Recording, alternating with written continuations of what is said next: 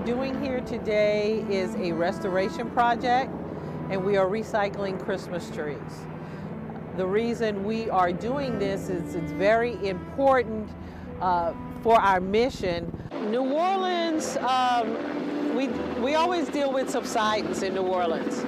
So the ground is steadily sinking beneath our feet and the Christmas trees act as a wave break and it slows down the wave action.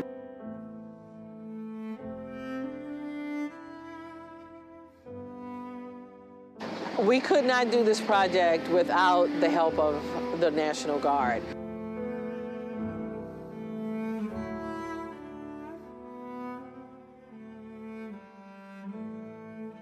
You have to be pretty precise, but it's mostly about communication.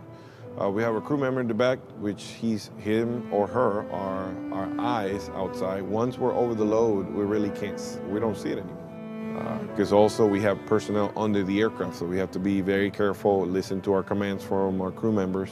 Very important, and we're taking advantage of the training value for it. Uh, sling loads, external loads don't come very often.